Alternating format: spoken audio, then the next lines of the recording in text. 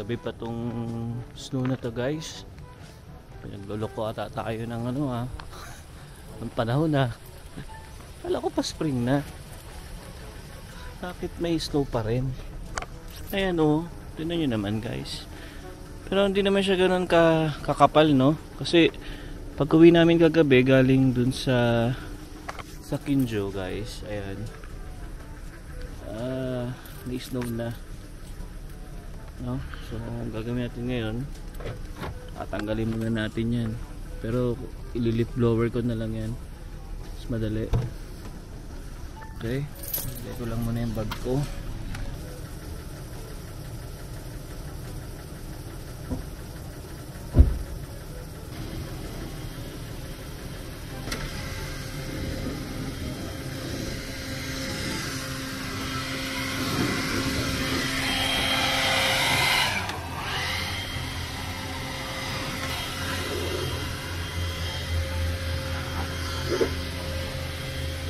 guys okay guys. Ayun.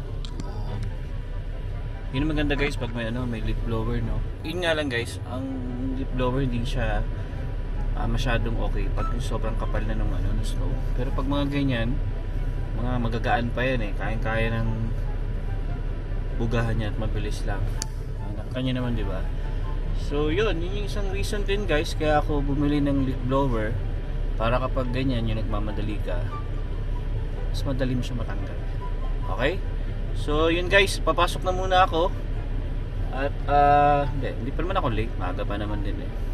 Okay so kita dalawa ulit tayo maya maya and kwentuhan ulit tayo. Alright?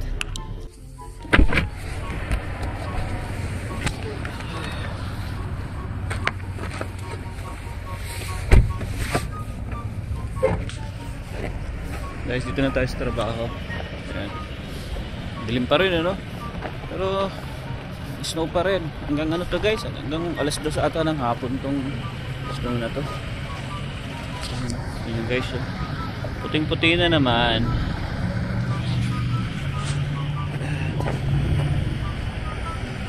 okay may ulit Several song-filled hours later. Yun guys, katatapos lang namin ng trabaho.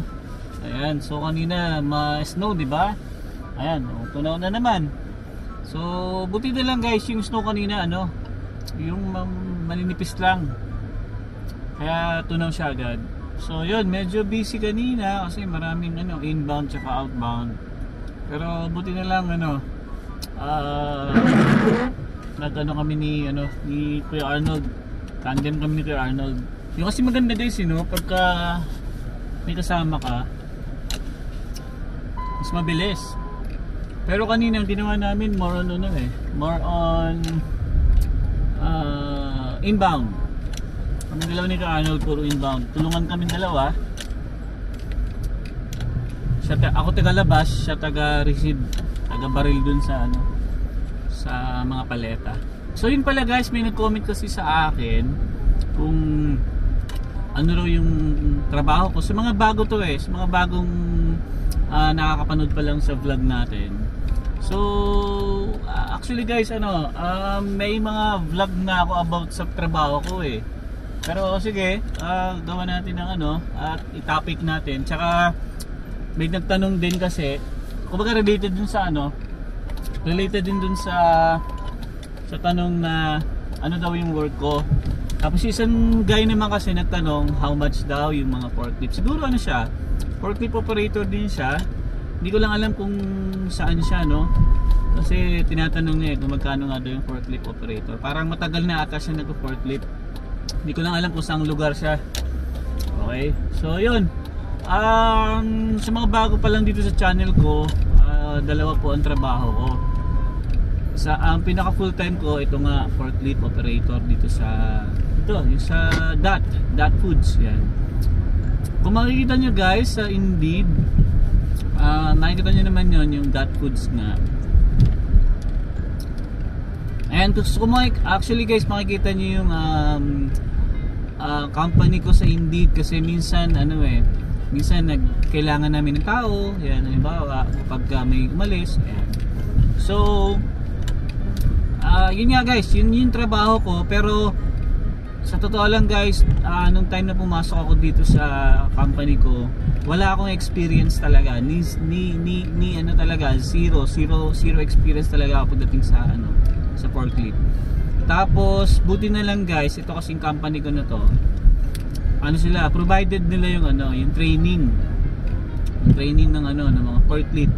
So nagumpisa ako sa ano, sa order picker or cherry picker na tinatawag. Maraming tawag eh, order picker, cherry picker, no? So doon ako unang-unang ano, tinuruan. So parang madali lang siya guys eh. Kumbaga para ka lang din nagda-drive ng sasakyan eh. Ano 'yun? Yung nga lang joystick yung hawak mo. Tapos meron ka isang sa kaliwa mo naman yung pinaka wheel nga yung doon ka yung liliko-liko. Ayan. Madali lang eh. Para ka lang para ka lang naglalaro ng video game eh. Diba? Pero syempre sa una maninibago ka kasi syempre tatansyahin mo yung yung mga liko, ayan. Especially kasi guys pagka mga sa mga ano kasi sa mga ah tawag ito forklift operator karamitan ano eh maatras yung mga ano eh yung mga takbo eh no? Pero depende yun sa machine ha depende sa machine yun. Pero yung ano cherry picker kailangan yun ano lang diretso no? Pwede naman pwede ka naman na matras ng ano. Pero depende nga depende sa sitwasyon. Depende sa sitwasyon tsaka depende sa machine na hawak mo. Okay? So ayun doon ako nagsimula sa sa cherry picker almost ano rin ako guys. 2 months 2 months ko rin hinawakan yung cherry picker. Tapos after nun ah yun nga yung training na yun dire-diretso after 2 months ah, nilipat na ako sa ano sa forklift. Yan. O yung pacer na tinatawag. So bali ano rin yung time na ika 3 months ko halo na eh. Pacer tsaka reach yun yung pinahawak sa akin eh pero sa ngayon, ang pinaka hinahawakan ko na talaga ngayon is yung forklift o yung pacer nga. Kasi yun yung ah, binibigay sa akin kasi pag pagka inbound, outbound, yun yung mga ginagamit kasi na machine. Kasi yun yung pumapasok sa truck. Baga siya yung kakasya dun sa truck. Yun. So yun yung gamit ko talaga ngayon. Tapos minsan nag, nagre-reach din ako pagka halimbawa ah, day off yung ano, day off yung gumagamit ng mga reach namin. Yun, minsan doon ako sinasalpak. Ayan. So maganda lang dito nga sa company ko guys, talagang sila yung nagturo sa akin, provided nila. Tapos, yun nga, may certificate na kami ng Raymond. Yun yung maganda. Yun yung machine namin guys, si Raymond yung brand. Ayan. Maganda, maganda yung ano. Least, kumbaga, dagdag sa ano ko yun, kaalaman ko yung pagiging forklift, di ba, operator. Kaya, tsaka ano rin pala guys, kaya rin ako nakapasok dyan, nirefer din ako nung ano, nung kaibigan, kaibigan ng kaibigan ko. Ayan, si Arman yan. Shoutout si Arman. Pre, ayan, siya talaga yung ano sa akin guys, siya yung nagpasok doon sa akin. Kasi siya yung matagal na doon eh, matagal na siya sa company ng DAT. Parang 2 to 3 years na ata siya, parang gano'n. O 3 o 3 years, magti 3 years na ata siya. So, siya yung nagpasok sa akin dyan. Kasi gusto nitong company namin, mga Pinoy. Kasi syempre alam niyo naman guys, pag Pinoy, di ba? Masipag. Di ba? Ay, yun yung gusto ng company namin. Kaya kami dyan sa company namin, anim na kaming, ano na ba? Oo, anim. Pero yung, bali lima ngayon, pero anim talaga kami kasi nagano lang, nag-paternity, nag-paternity leave yung isa. Kasi ka nanganak yung asawa niya. Kaya lima na lang muna kami dyan. Pero anim talaga kami. Yan. Tapos the rest, mga puti na, tsaka itim.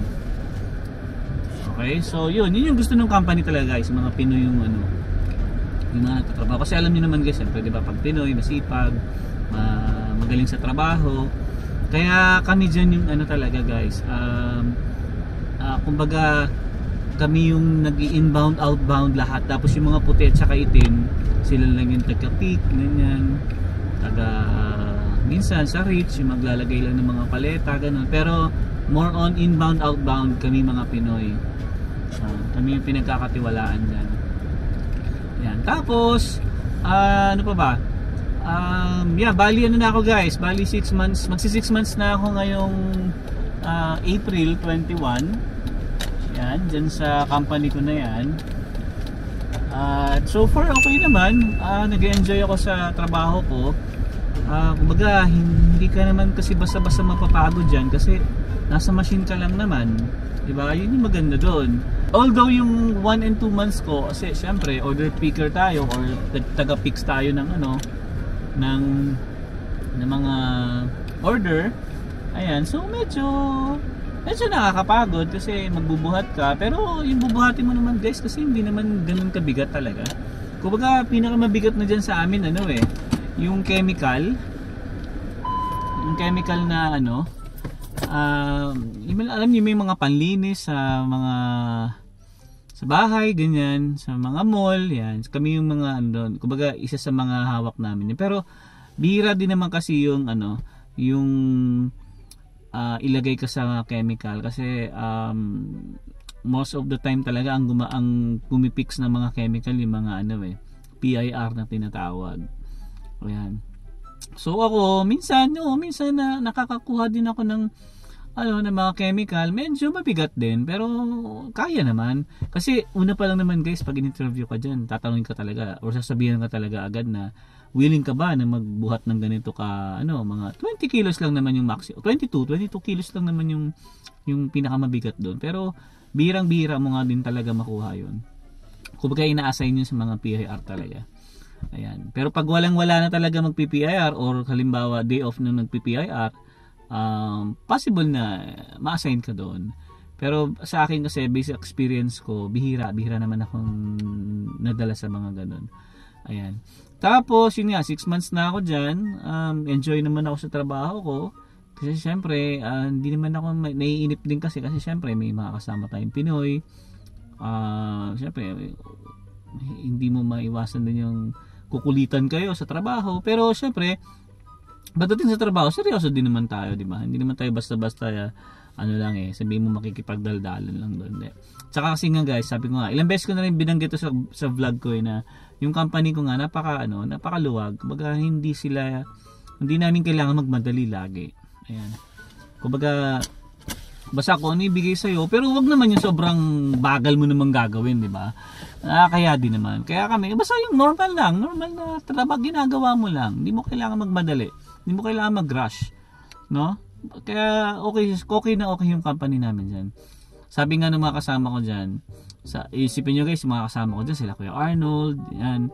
Ano na yan, matagal na mga forklift operator yan. Taon na talaga binilang.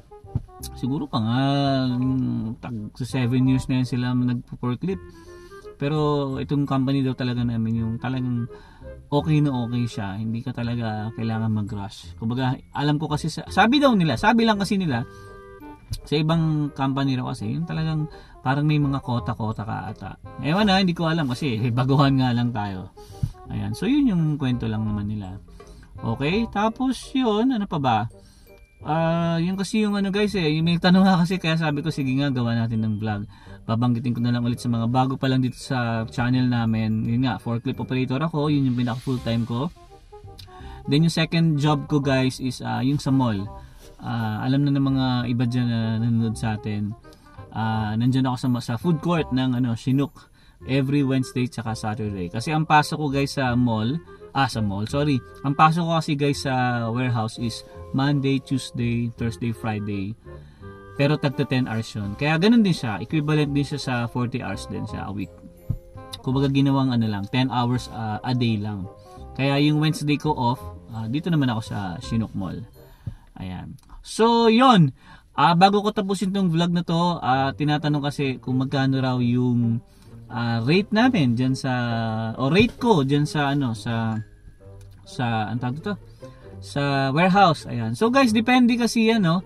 Depende sa company. Pero sa amin kasi guys, makikita niyo sa Indeed pag nag-check kayo. Search niyo lang yung dot foods. Uh, starting doon 22. Okay? So $22. Kasi ano, Ah, uh, yung sa amin kasi guys, may freezer kami.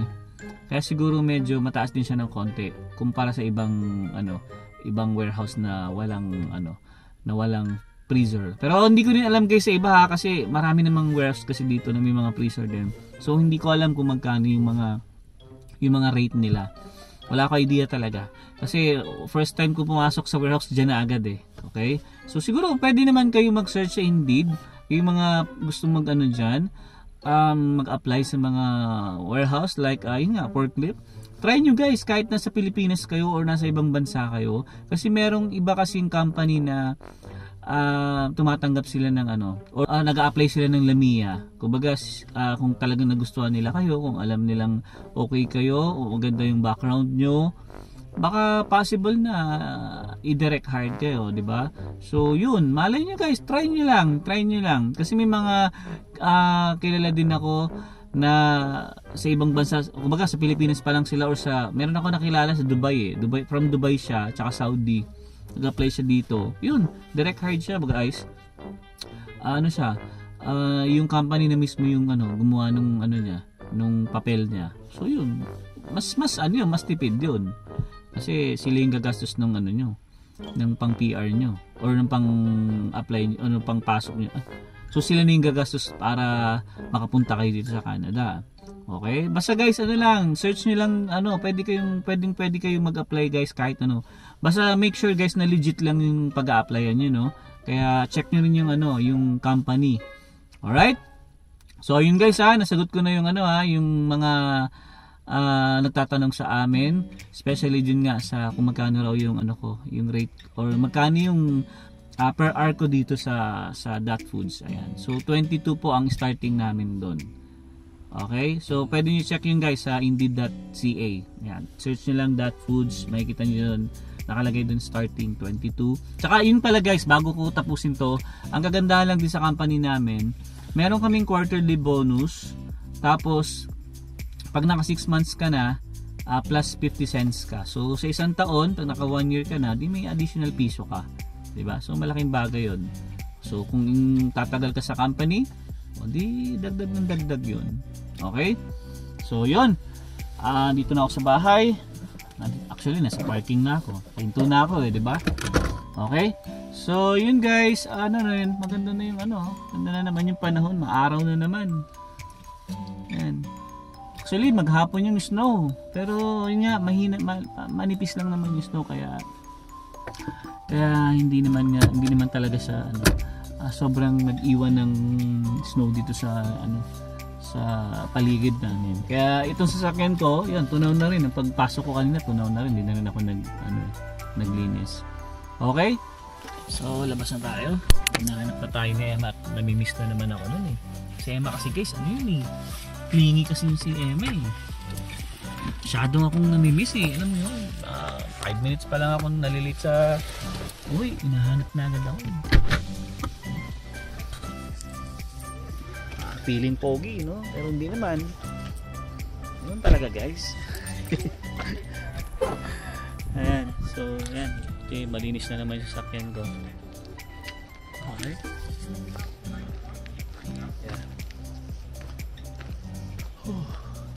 Sarap ng panahon. I think minus 2 guys. Ayan, so sa April 1, doon na tayo sa, sa parking ko na may bubong. So hindi na tayo mahihirapan ano, magtanggal ng snow. Alright, so yeah guys, ulit na lang. See you on the next one. Peace.